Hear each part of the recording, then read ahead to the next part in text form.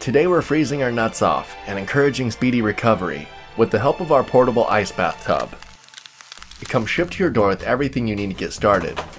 Inside the box, you can find your instructions, a headrest, a bath towel, six support rods, an air pump, a drainage tube, a carrying case, and inside, your portable ice bath. Find an area with enough room and spread it out. Then take your support rods and slide them in through the holes on the bottom to give your bath some structure. Then after you get all the support rods in, take your air pump and inflate the outer ring.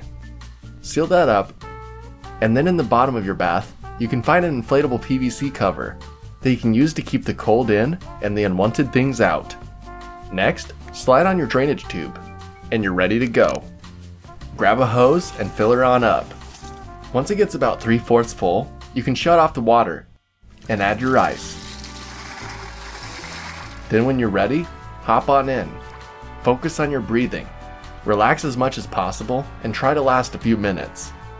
The cold temps wake the body up, and it helps reduce inflammation. Then when you get out, you can use the provided towel to dry off. At this point, you can use the expandable tube to direct and drain your water wherever you want. You can use this to water your garden, or jar it up and sell your ice cold bath water online. And while you do that, let your body warm up naturally. After, you'll feel like a million bucks. I find that I'm less stressed, I'm looser, and I'm ready to work.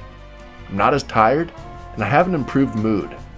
Making a conscious decision at the start of the day to do something that isn't comfortable for me but has health benefits really is something special.